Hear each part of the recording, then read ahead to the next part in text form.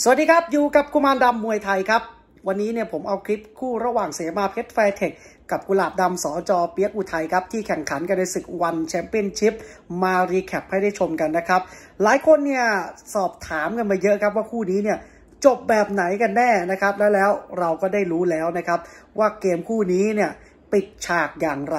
นะครับ เดี๋ยวเราไปดูกันอีกครั้งหนึ่งนะครับ ผลงานเสมาเพชร และก็กุหลาบดำนะครับ ในศึกวันแชมเปี้ยนชิพนะครับ จบแค่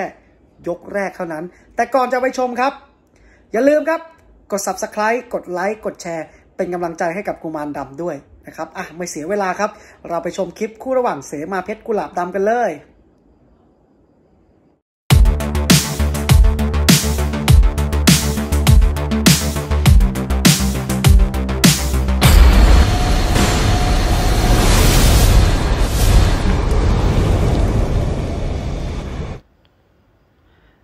ะครับมาติดตามการแข่งขันนะครับ คู่เอกศึกวันแชมเปี้ยนชิพครับ ระหว่างเสมาเพชรแฟร์เท็กซ์พบกับกุหลาบดำสอจอเปียกอุทัยครับ คู่นี้นี่แข่งขันกันเป็นที่เรียบร้อยแล้วนะครับ เมื่อช่วงเดือนมีนาคมครับ นี่เป็นเทปการแข่งขันนะครับ ที่ทางวันแชมเปี้ยนชิพเนี่ยนำมาออกอากาศอีกครั้งหนึ่งครับ วันนี้กุมารดำก็เลยนำคู่นี้มา recap ให้ได้ชมกัน นี่ครับเปิดตัวแล้วครับกุหลาบดำสอจอเปียกอุทัยครับ เจ้าของฉายาซ้ายอุกกาบาตครับ บริกรรมคาถาก่อนขึ้นเวทีครับ เจ้ากุหลาบดำเป็นนักชกจากจังหวัดสุรินทร์ครับ ปัจจุบันอายุ 22 ปีสูง 168เซนติเมตรครับ ส่วนนี้ครับกูต่อกรของเขาครับเสมาเพชรแฟร์เทคครับ เจ้าของฉายาซ้ายฟ้าผ่า เป็นนักชกจากจังหวัดเชียงรายครับ เจ้าตัวเนี่ยเกิดที่เชียงใหม่นะครับ แต่ว่าไปเติบโตที่จังหวัดเชียงรายครับ บริกรรมคาถาก่อนขึ้นเวทีเช่นเดียวกันครับ ซ้ายฟ้าผ่าปะทะซ้ายอุกาบาทครับ ซ้ายใครจะแน่กว่ากัน ชกกันในรูปแบบมวยไทยครับ เป็นการแข่งขันในรุ่นแบนตัมเวทครับ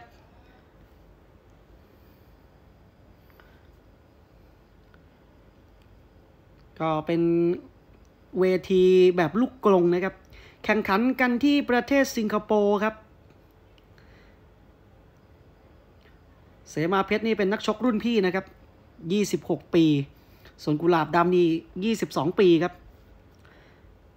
ปีกรีไม่ธรรมดาเหมือนกันนะครับสำหรับกุหลาบดำเป็นนักชกถ้วยพระราชทานปี 2560 ครับ ชกในวันแชมเปี้ยนชิพมาแล้วเนี่ยสามไฟครับ ชนะ2ครั้งแล้วก็แพ้1ครั้งครับ มี IG ด้วยนะครับ add ไปที่ at กุหลาบดำครับ ตามหน้าจอที่ขึ้นเลยครับ ติดตาม IG ของน้องได้ครับ ลูกศิษย์ของสอจอเปียกอุทัยครับ ประภาวิทบุตรสวัสดีครับ ซ้อมที่ค่ายมวยสอจอเปียกอุทัยอยู่ที่จังหวัดอุทัยธานี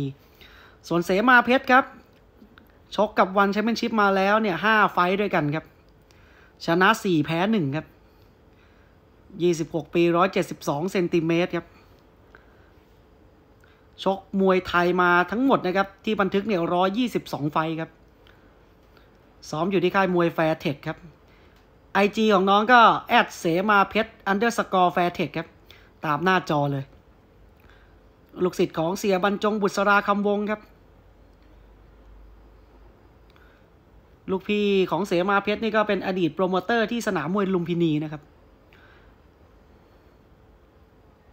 โอลิเวียคอสเต้ครับ เป็นผู้ชี้ขาดบนเวที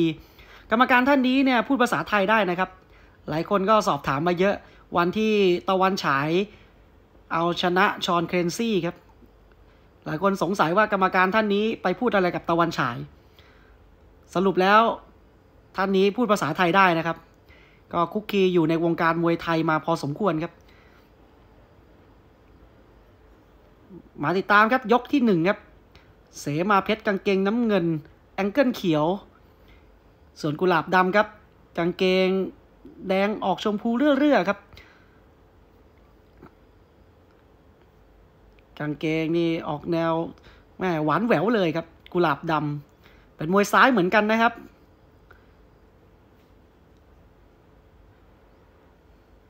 ขยับหาแล้วครับ กุหลาบดำซ้ายกับซ้ายครับ แฟนมวยนี่เข้ามาคอมเมนต์ก่อนเกมการชกแล้วครับ ก็มองว่าคู่นี้ในโอกาสไม่ครบยกถึง 80%ครับถ้าพูดถึงกระดูกประสบการณ์อยู่ที่เสมาเพชรครับ เป็นอดีตแชมป์มวยรอบปูนเสือครั้งที่ 12 ครับ ก็โด่งดังมาจากการเป็นแชมป์มวยรอบครั้งนั้นแหละครับ เสมาเพชรสอชาวลิตครับ ส่วนกุหลาบดำเองนี่ก็ นอกจากเป็นนักมวยถ้วยพระราชทานแล้วครับ ก็ยังเป็นแชมป์อีกหลายเส้นครับ เส้นที่น่าภาคภูมิใจที่สุดก็คือ 135 ปอนด์ของสนามมวยลุมพินีครับ ไปกระชากเข็มขัดนะครับด้วยการชนะน็อกเกนจิอุเมโนะถึงประเทศญี่ปุ่นครับ มีหมัดเริ่มตอบโต้กันแล้วนะครับ เตะซ้ายเจาะยางครับกุหลาบดำเสมาเพชรนี่ยังดูทรงนิ่งๆครับ มีหมัดขวากระแทกยับไปก่อนโอลิเวียร์คอสเต้ครับผู้ตัดสินนี่ดึงทั้งคู่มากลางเวทีครับ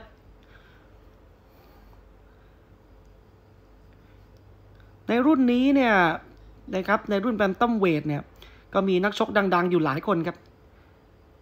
น้องโอไก่ย่างห้าดาวนี่ยืนหนึ่งเป็นแชมเปี้ยนในรุ่นนี้อยู่นะครับ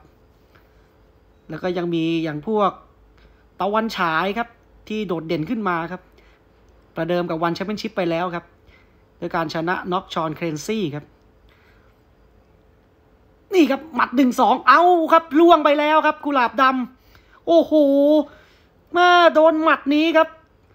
ลงไปกองเลยครับ โอ้กรรมการ ลิเวียคอสเต้ต้องโบกมือยุติการชกเพียงแค่ยกแรกครับ โอ้เสมาเพชรกระโดดขึ้นไปดีใจ ดูครับ โอ้ปิดเกมไวครับ ซ้ายฟ้าผ่า สมฉายาเลยครับ โป้งเดียวจอดครับ โอ้โห เสมาเพชรนะครับ หรือชื่อเล่นของเขาก็คือเจ้าเปิ้ลครับปิดเกมชนะน็อกกุหลาบดำสอจ้าเปียกุไทยเพียงแค่ยกแรกครับ ดูอีกครั้งนะครับ จังหวะเตะซ้ายครับ และนี่ครับ โอ้โห ซ้ายตรงอัดไปที่ลำตัวครับ ดูหลาย ๆ มุมครับ ปักเข้าไปครับ อืม เป็นจังหวะน่าจะเกรงไม่ทันครับกุหลาบดำอืมนี่ครับไประวังข้างบนครับ แต่จังหวะเสมาเพชรนี่ยิงซ้ายตรงเข้าลำตัวครับ